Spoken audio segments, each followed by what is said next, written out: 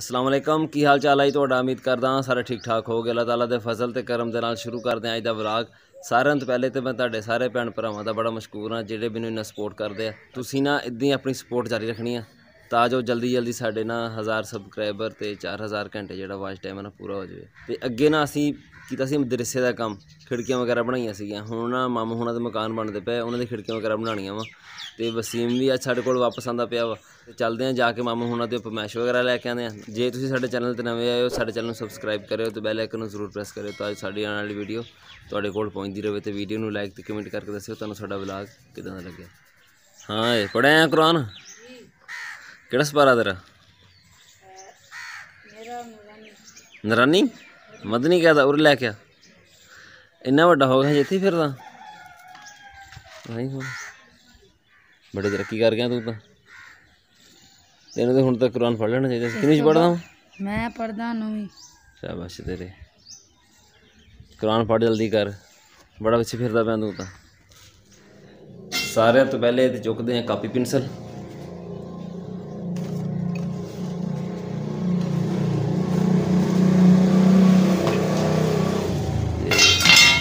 ਨਾਲ ਲੈਂਦੇ ਆ ਇੰਚ ਟੇਪ ਜਾ ਕੇ ਲੈ ਕੇ ਆਉਂਦੇ ਆ ਖਿੜਕੀਆਂ ਦੀ ਪਮੈਸ਼ ਤੇ ਆ ਕੇ ਨਾ ਅੱਜ ਹੀ ਕੰਮ ਸ਼ੁਰੂ ਕਰਦੇ ਆ ਤੂੰ ਇਕੱਲਾ ਹੀ ਖੜਾ ਓਏ ਇਕੱਲਾ ਹੀ ਖੜਾ ਤੂੰ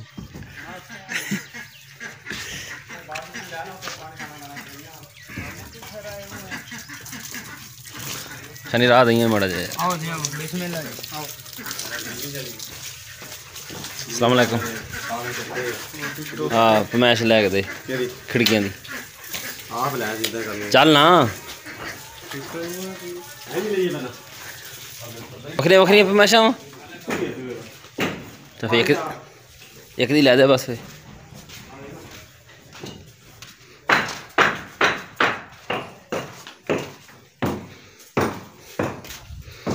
ਕਿੰਨੀ ਉਹ ਸਾਡੇ ਮੈਨੂੰ ਫੜਾ ਉਰੇ। 5 ਫੁੱਟ ਇੱਕ ਇੰਚ ਹੈ ਨਾ 5 ਫੁੱਟ ਹੀ ਰੱਖਣੇ ਪਲਸਤਰ ਆਣਾ ਨਾ। ਪੂਰੀ 5 ਫੁੱਟ ਰੱਖਣੀ ਆ। ਹਾਂ। ਤੇ ਪੂਰੀ ਰਾਤ ਦੇ ਗ੍ਰਿਲ ਨਾਲ ਲੱਗ ਗਿਆ ਭਾਈ ਬਸ ਠੀਕ ਆ। 5 ਫੁੱਟ ਪੂਰਾ ਕਰ ਦਾਂਗੇ। ਹਾਂ ਪਲਸਤਰ ਤਾਂ ਅਸੀਂ ਉਹ ਇੰਚ ਹੀ ਛੱਡ ਦੇਣਾ ਵੀ ਘਾਟਾ ਵਾਦਾ ਹੁੰਦਾ ਨਾ ਜਦੋਂ। ਹੂੰ। ਇਹ ਤੇ ਘੱਟ 4 ਫੁੱਟ ਉਹ ਬਾ ਮਸਾਲਾ ਮਸੂਲਾ ਨਾ ਛਿਲਿਆ ਜਾਏ। 4 ਫੁੱਟ ਪੂਰੀ ਕਰ ਦੀ ਹਾਂ ਪੂਰੀ। ਸੂਤਰ ਘੱਟ ਵੀ ਹੋ ਜਾਏਗਾ ਕੋਈ ਸਹੀ ਹੈ ਅਗਲੀ ਵੀ ਮਿਲ ਇਹ ਇੱਕ ਫਾਲਤੂ ਹੈ ਇਹਦਾ ਹਾਂ ਡੇਢ ਇੰਚ ਬਸ ਠੀਕ ਆ ਉਹੀ ਹਿਸਾਬ ਉੱਤੇ ਰੱਖ। ਚਾਰ ਹੈ ਠੀਕ ਹੈ ਆ ਜਾਏਗੀ ਥੱਲੇ ਕੁਛ। ਚਾਰ ਸੂ ਲੱਗ ਜਾਏਗੀ। ਆ ਟੋਟਲ ਉਹ ਤੇ ਪੰਜ ਹਾਂ ਸਹੀ ਹੈ ਖਿੜਕੀਆਂ ਦੀ ਪਮੈਸ਼ ਅਸੀਂ ਲਿਆਏ ਆ ਕਾਪੀ ਪੈਨਸਲ ਦੀ ਲੋੜ ਹੀ ਨਹੀਂ ਪਈ ਉੱਥੇ। ਮੈਂ ਤਾਂ ਕਿਹਾ ਮੁxtਲਿਫ ਸਾਈਜ਼ ਹੋਵੇਗਾ ਖਿੜਕੀਆਂ ਦਾ ਲਿਖਣੇ ਪੈਣਗੇ। ਉਹ ਸਾਰੀਆਂ ਦਾ ਨੇ ਇੱਕ ਹੀ ਸਾਈਜ਼ ਆ। ਚੱਲਦੇ ਆ ਜਾ ਕੱਪੜੇ ਚੇਂਜ ਕਰਦੇ ਆ ਤੇ ਕੰਮ ਸ਼ੁਰੂ ਕਰਦੇ ਆ। ਵਸੀਮ ਵੀ ਆਉਣ ਵਾਲਾ ਹੀ ਹੋਣਾ ਵਾ ਪੱਠੇ ਉਹਨੇ ਵੱਢ ਕੇ ਫੇਰ ਆਣਾ ਸੀਗਾ। ਆ ਗਿਆ ਵਸੀਮ? ਹਾਂਜੀ ਆ ਗਿਆ। ਹਾਂ ਕੀ ਹਾਲ ਕੀ ਹਾਲ ਬਹਿ ਜਾ। ਚਾਹ ਹੁਣ ਤਾਂ ਭਈ ਇੱਕ ਮਹੀਨਾ ਹੋ ਗਿਆ ਮੈਂ ਛੱਡ ਕੇ ਗਿਆ ਸੀ। ਇਹ ਦਿਨ ਯਾਦ ਕਰਦੀ ਆ? ਜਿਹੜੇ ਤੂੰ ਛੱਡ ਕੇ ਗਿਆ ਸੀ ਤੂੰ ਪੂਰੀ ਉਹੀ ਕਰਨੀ ਆ। ਆ ਸਰੀਏ ਸਿੱਧੇ ਕੀਤੇ ਪਏ ਆ। ਇਹ ਪਹਿਲੇ ਇਹਨੂੰ ਲਾਣਾ ਤੇ ਮੁੜ ਕੇ ਬਾਅਦ ਚ ਪੈਪ ਪਏ ਆ ਬਾਹਰ। ਉਹ ਸਾਫ਼ ਕਰਨੇ ਬੜਾ ਔਖਾ ਹੋਇਆ ਕੱਲ ਤੈਨੂੰ ਬਣਾ ਦਾਂਗੇ ਹਰ ਚੀਜ਼। ਤੂੰ ਉਹ ਲਿਆ ਉਹ ਸਾਫ਼ ਕਰਨੇ ਬਾਅਦ ਚ ਠੀਕ ਹੈ ਨਾ? ਹਾਂ।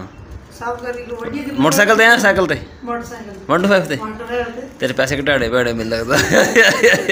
ਉੱਪਰ ਜਾਣਾ ਮੈਨੂੰ ਬੜਾ ਮੁਸ਼ਕਿਲ ਲੱਗ ਰਿਹਾ ਸੀ ਅੱਛਾ, ਅੱਛਾ। ਮੈਂ ਕਿ ਮੋਟਰਸਾਈਕਲ ਤੇ ਚੜ ਜਾਵਾਂ ਚੱਲ ਠੀਕ ਇੱਧਰ ਸਿੱਧਾ ਆਉਣਾ ਤੇ ਫਿਰ ਸਾਈਕਲ ਤੇ ਆਉਂਦਾ। ਹਾਂ। ਪਹਿਲੇ ਅੱਧਾ ਸਫ਼ਰ ਬਣਦਾ ਪਰ ਇਹਨੂੰ ਉਹ। ਹਾਂ।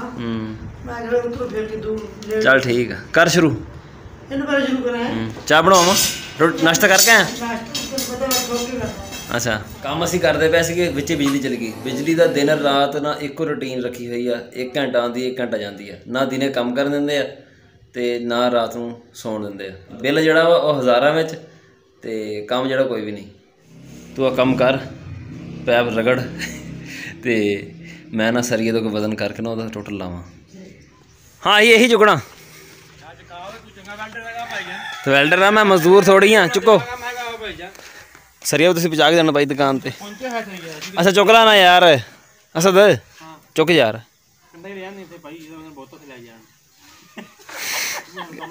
ਕੰਡਾ ਲੈ ਕੇ ਆਓਗੇ ਚਲ ਜਾ ਲਿਆ ਫਿਰ ਅਸੀਂ ਤੇਰਾ ਤਾਂ ਹੈ ਵਿਆਹ ਨੇੜੇ ਪਈ ਤੂੰ ਤੇ ਜ਼ੋਰ ਲਾ ਲਾ ਕੰਮ ਕਰਨਾ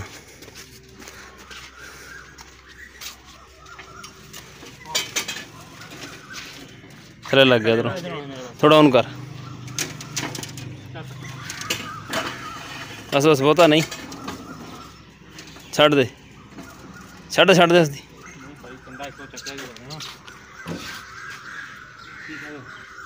ਠੀਕ ਹੈ ਗੰਡਾ। ਵਟਾ ਲਿਆ ਹੋਰ ਓਏ।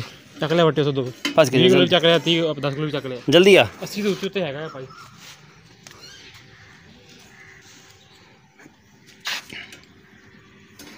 ਚੰਗਾ ਵਜ਼ਨ ਹੈ। ਚੌਧਰੀ ਸਾਡਾ ਤਜਰਬਾ ਹੈ ਹੁਣ ਤਜਰਬਾ ਨਾਲ ਕੰਮ ਹੋ ਗਿਆ ਥੋੜਾ 80 ਕਿਲੋ ਹੈ ਭਾਈ ਇਹਨੂੰ ਪੂਰਾ 85 ਕਿਲੋ? ਬਸ ਠੀਕ ਹੈ। 80 ਕਿਲੋ ਉੱਤੇ ਵਜਨ ਹੈਗਾ ਭਾਈ। ਮਸਨ ਲਾ ਦੋ ਥੱਲੇ ਇੱਥੇ ਹੀ। ਤੇ ਕੋਈ ਸਾਦਾ ਹੋਇਆ? ਵਜ਼ਨ ਕਰਨਾ ਸੀ ਬਸ ਇਹਦਾ। ਤੀਸਰੀ ਵਾਰੀ ਬਿਜਲੀ ਚੱਲ ਗਈ ਆ। ਜਾ ਕੇ ਨਾ ਹੁਣ 1 ਘੰਟਾ ਆਰਾਮ ਕਰਦੇ ਆ ਤੇ ਵਸੀਮ ਵੀ ਥੋੜਾ ਸਾਹ ਕੱਢ ਲਵੇ। ਕੰਮ ਲੱਗਿਆ ਹੈ ਸਵੇਰ ਦਾ। ਤੇ ਫਿਰ ਬਿਜਲੀ ਦੁਬਾਰਾ ਆਏਗੀ ਨਾ ਤਾਂ ਕੰਮ ਸ਼ੁਰੂ ਕਰਾਂਗੇ। ਟੀਮ ਤੂੰ ਯਾਰ ਆ ਪੈਪ ਸਾਫ਼ ਕਰ ਲਾ ਤੇ ਉਹ ਸਰੀਏ ਸਿੱਧੇ ਕਰ ਲੈ ਹੈ। ਤੇ ਨਾਲ ਸਹੀ ਵੀ ਕੱਢ ਲਾ। ਠੀਕ ਆ? ਨਾਲ ਕੰਮ ਵੀ ਹੋ ਜੂ ਨਾਲ ਤੇਰੀ ਸਹੀ ਵੀ ਨਿਕਲ ਵਸੀਮ ਚਾਹ ਪੀ ਲਾ ਤੇ ਮੈਂ ਚੱਲਾਂ ਜਨਾਜ਼ੇ ਤੇ ਹੁਣ। ਉਸ ਤੋਂ ਬਾਅਦ ਕੰਮ ਜਦੋਂ ਮੁਕੰਮਲ ਹੋ ਜਾਏਗਾ ਮੁਕੰਮਲ ਕਿੱਥੋਂ ਹੋਣਾ ਤੇਰੇ ਕੋਲੋਂ? ਰਹਿ ਜਾਣਾ ਵਿੱਚ। ਹਾਂ ਕੰਮ ਰਹਿ ਜਾਣਾ ਵਿੱਚ। ਤੇ ਤੂੰ ਬਸ ਫਿਰ ਦੁਕਾਨ ਬੰਦ ਕਰ ਜੀ ਹੈ? ਮੋਟਰਸਾਈਕਲ ਤੇਰਾ ਬਾਹਰ ਖੜਾ ਕਰਤਾ। ਜਨਾਜ਼ਾ ਅਸੀਂ ਪੜ ਲਿਆ ਵਾ ਕਫਨ ਦਫਨ ਤੋਂ ਫਾਰਗ ਹੋ ਕੇ ਨਾ ਮਗਰਬ ਦੀ ਨਮਾਜ਼ ਪੜ੍ਹੀ ਆ ਤੇ ਹੁਣ ਚੱਲੇ ਆ ਬਾਜ਼ਾਰ ਥੋੜਾ ਉੱਥੇ ਕੰਮ ਆ। ਤੇ ਫਿਰ ਵਾਪਸ ਚੱਲਦੇ ਆ ਘਰ। ਸਵੇਰ ਇਨਸ਼ਾਅੱਲਾ 7 ਵਜੇ ਕੁੱਲ ਵੀ ਆ ਕੁਲਾਂ ਤੇ ਵੀ ਆਵਾਂਗੇ।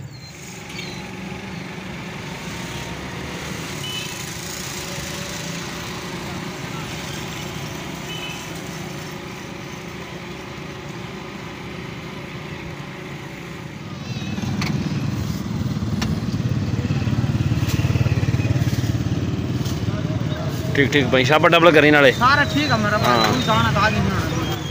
ਇਹੀ ਸੇਬ ਨਾ ਸਵੇਰ 200 ਰੁਪਏ ਕਿਲੋ ਸੀਗੇ ਤੇ ਹੁਣ ਸ਼ਾਮ ਹੋ ਗਈ ਆ ਤੇ 100 ਰੁਪਏ ਕਿਲੋ।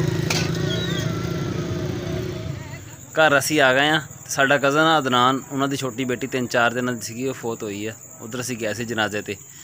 ਅੱਲਾਹ ਤਾਲਾ ਇਹਨਾਂ ਨੂੰ ਸਬਰ ਅਜਮੀਰਤ ਆ ਫਰਮਾਵੇ ਛੋਟੀ ਮਾਸੂਮ ਬੇਟੀ ਨੂੰ ਉਹਨਾਂ ਵਾਸਤੇ ਮਗਫਰਤ ਦਾ ਜ਼ਰੀਆ ਬਣਾਵੇ। ਇਹ ਸੀ ਸਾਡਾ ਅੱਜ ਦਾ ਵਲੌਗ ਤੁਹਾਨੂੰ ਕਿਦਾਂ ਦਾ ਲੱਗਿਆ? ਕਮੈਂਟ ਵਿੱਚ ਜ਼ਰੂਰ ਦੱਸਿਓ। ਦੁਆਵਾਂ 'ਚ ਯਾਦ ਰੱਖਿਓ। ਅੱਲਾ ਹਾਫਿਜ਼।